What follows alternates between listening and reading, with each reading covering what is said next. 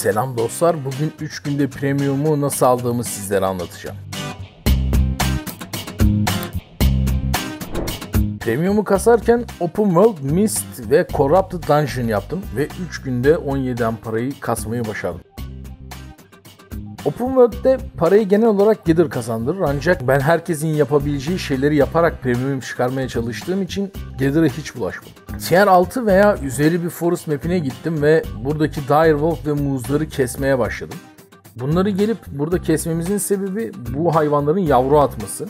Muz yavrusunun 200-250k arası, Dire Wolf yavrusunun ise 80 ve 120k arası bir fiyatı var. Ayrıca Tier 5 ve üstü çöl maplerinde Swift Claw keserek de onlardan yavru alabilirsiniz. Dire Wolf ve Muz yavrusu kadar iyi para etmese de çok fazla olduğu ve fazla kesebildiğiniz için düşme ihtimali de haliyle fazla ve daha fazla para kazanma şansınız var. Bunun dışında Open World'de yaratık keserek de iyi para elde edebilirsiniz. Bu yaratıklar size kestiğiniz map'in tier'ine göre silver ve loot verir. Tier 8 bir map'te kestiğiniz yaratıktan daha fazla silver ve daha iyi loot alırsınız. Tier 8 yaratıklardan tier 8 bir loot alıp bir anda cebinize biriken para koyabilirsiniz. Tabii ben premium'u kazarken bu kadar şanslı olamadım. Ayrıyetten tier 8 bir haritaya gittiğinizde haritada açılan solo dungeonlarda tier 8 olacağı için tier 8 dungeon kağıdına para vermeden bunları farmlayabilir ve şansa bağlı olarak da iyi lootlar alabilir, iyi paralar kazanabilirsiniz. Ve son olarak da Open World'de çıkan Avalonian drone botları bulup keserek map'in tier'ine ve taşıdığı kutunun enderliğine göre değişen iyi lootlar alabilirsiniz. Bunlar random noktalarda ama her map'te çıkar. Size bahsettiğim bu kontentler Black Zone'da yapılması gereken ve riskli kontentler. Bir anda bir gang ekibi tarafından yakalanıp öldürülebilir, itemlerinizi ve lootlarınızı kaybedebilirsiniz. Veya bu lootlar için savaşmak zorunda kalabilirsiniz başka oyuncularla. Bundan ötürü bu tarz yerlere gidip bu tarz kontentlerde para kazanmaya karar verdiyseniz üzerinizin kesinlikle 4 bir en fazla 4-2 olmasına dikkat edin ki kaybınız yüksek olmasın ve tekrar set çekip dışarıya çıkabilin ve PvP'den olabildiğince uzak durmaya çalışın bana sorarsanız. Mist bence yeni başlayan oyuncular için bulunmaz Hint kumaşı gibi.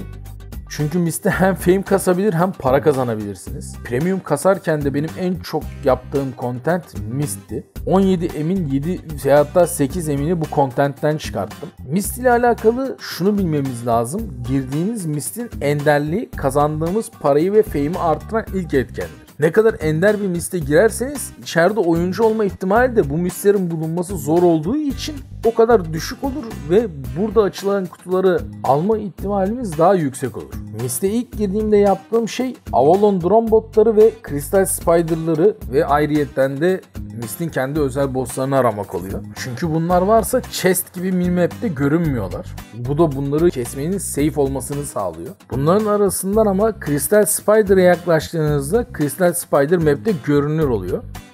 Ve eğer Mist'te Crystal Spider arıyorsanız bundan ötürü gözünüz minimap'te olsun ve hatta N ile büyük map'i açıp sık sık kontrol edin. Kristal Spider'lar aranıp bulunması gerektiği ve tüm map'te görünmediği için Mist'in en safe para kazanma yollarından biridir. Ve geliri de oldukça iyidir.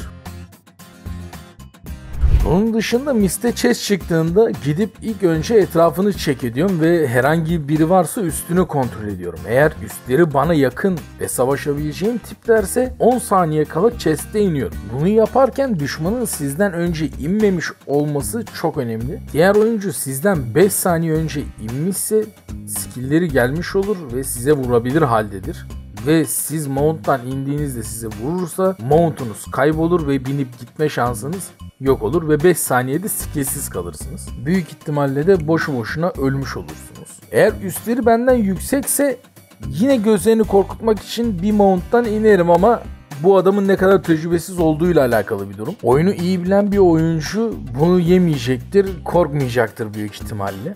Bundan dolayı genelde sizden yüksek setli birini görürseniz bırakıp gitmek en mantıklı seçenek olur. Ancak şansınızı denemekte her zaman bana sorarsanız fayda vardır.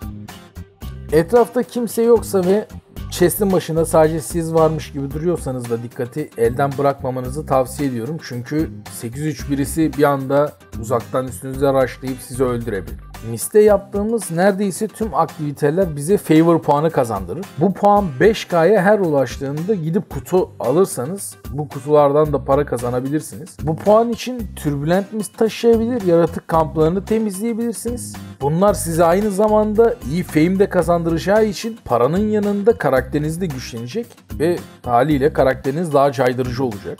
Miste Crystal Spider gibi şeyleri kesmeye çalıştığımız için biraz zorlanabiliriz. Bundan dolayı bir tık daha iyi ve mobilitesi yüksek bir setle yapmamız gerekiyor bu işi. Burada setimize yatırdığımız para daha yüksek olduğu için aldığımız risk daha yüksek görülebilir. Ancak Mist'teki oyuncu sayısının az ve hepsinin sol oyuncular olmasından dolayı bu risk göze alınabilecek hale gelir. Ama buraya bulaşmadan önce biraz para kazanıp ondan sonra buraya gelmenizi tavsiye ederim. Corrupted Dungeon'da Hunter Difficulty Premium kasarken son günümde Mist'ten sıkıldım ve başka bir şey yapmak istediğim için keşfettim. Ancak gelirinden aşırı memnun kaldım. Normalde Stalker Difficulty oynayarak paramı çıkaran birisiyim oyunda. Ancak video için ve herkes de risk almadan yapabilsin diye Hunter Difficulty'de Corrupted döndüm ve 1 saat gibi bir sürede hiç risk almadan 800k gibi bir para kastım. Bunu görünce de devam ettim haliyle ve premium için gereken son 4 emi buradan çıkarttım.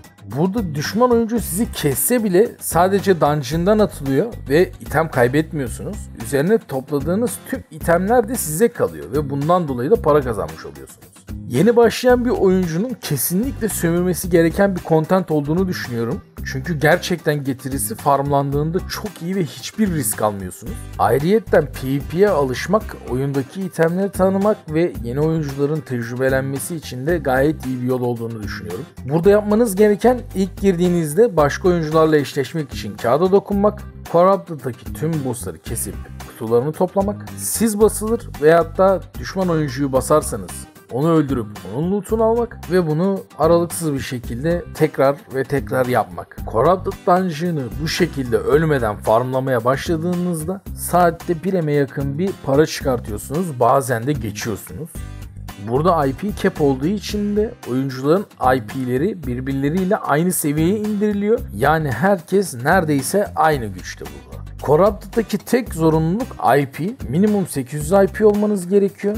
Bu da şu anlama geliyor. Hiçbir silah kasmadan maksimum 4000 itemler giyerek 800 IP'ye ulaşabileceğiniz için gayet ucuz bir şekilde Corrupted Dungeon farmlayabilirsiniz. Marketing size bahsetmek istediğim ve bol bol yaptığım son içerik. Önceki bahsettiğim kontentlerden herhangi birine gitmeden önce markete gidip buy order bırakırım ve itemler satın alırım. Döndüğümde bu itemler gelmiş olur ve onları bu sefer sell order'a bırakır. O itemleri ucuza almış ve pahalıya satmış olur. Bu al sata 3-5 parça ufak itemle başlayıp yavaş yavaş bu işi geliştirip toptan itemlere, toptan itemlerden sonra da black market itemlerine girişip bu işi geliştirebilirsiniz. Eğer yabancı dilinize de güveniyorsanız Trade Channel'da oyuncularla pazarlık yapıp çok iyi karlar elde edebilirsiniz. Örnek vermem gerekirse birisinden 1.9 eme Elite Salamander aldım ve 24 adet 6.4 odun ve 600k silver ile takas ettim. Ardından bu 24 odunun da tanesini 85k'ya sattım ve 2 milyon 650k'ya Salamander'i satmış oldum. Yani 750k kar ettim. Böyle itemler kovalayabilir ve iyi karlar da elde edebilirsiniz anlayacağınız. Ancak bu işi ileri düzeyde yapmak istiyorsanız bekletecek paranız, sabrınız ayrıyetten de piyasayla ilgili epey bir bilginiz olması gerekiyor. 3 günlük premium maceramda bunları yaparak 17'mi kastım ve günde 4 ila 6 saat harcayarak premiumu çıkardım. Premium kasarken edindiğim tecrübeden yola çıkarak ilk önce Hunter Difficulty Corrupted dönmeye başlayın. Biraz para kasın ardından alsat yapmaya başlayarak yüksek tier maplerde de Open World'e çıkın. Yakaladığınız güzel mistlere girin. Chest ve spiderları kovalayın. Mis kapandıktan sonra Open World'de yaratık kesip Avalon drone botları kovalamaya devam edin. Reset saatlerinden sonra mist arayın. Ender mistleri daha rahat bulabilirsiniz. Veya girdiğiniz mistlerde daha az adamla karşılaşıp daha rahat kutu toplayabilirsiniz. Ayrıca miste Carleon'dan girmeye özen gösterin. Çıkardığınız tüm itemleri hemen şehire veya da reste götürüp paranızı güvene alın ve 17 eminizi biriktirdikten sonra da hemen premiumunuzu çekin. Premium maceram bu kadar dostlar. Beni izlediğiniz ve dinlediğiniz için hepinize ayrı ayrı teşekkür ederim. İyi oyunlar dilerim.